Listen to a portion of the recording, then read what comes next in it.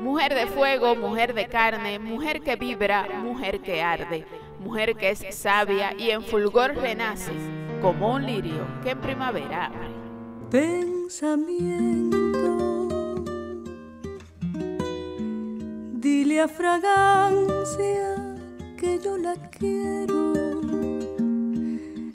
que no la puedo olvidar,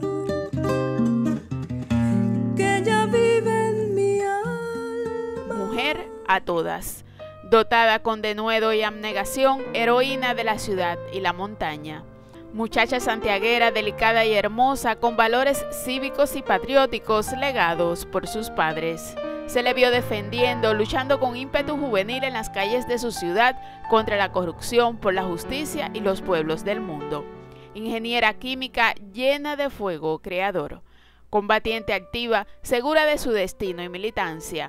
Desafió peligros al transportar armas y medicamentos en sus amplias faldas y sayuelas, las engañadoras. En la sierra afrontó combates, alfabetizaba a soldados y campesinos.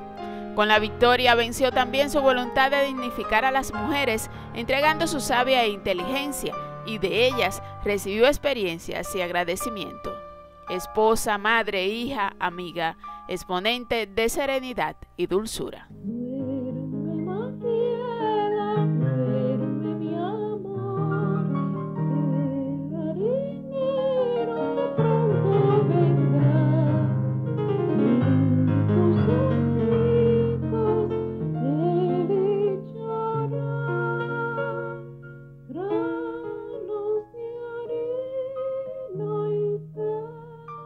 Creciendo entre mis latidos con profundas proyecciones, Vilma está en los corazones, multiplicando sonidos.